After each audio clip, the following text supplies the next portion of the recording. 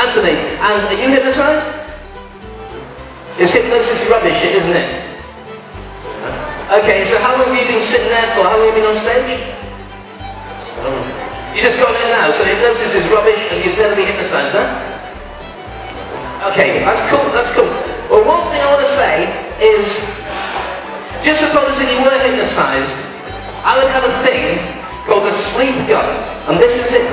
This is my sleep gun, okay? Now this sleep gun fires sleep bullets. And when they hit you on your forehead, they make you want to go to sleep. It's really cool. Um,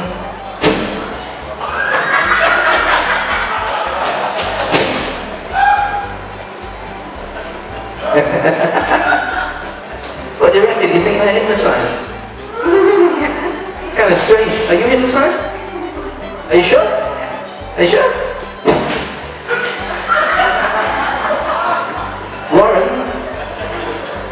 That about?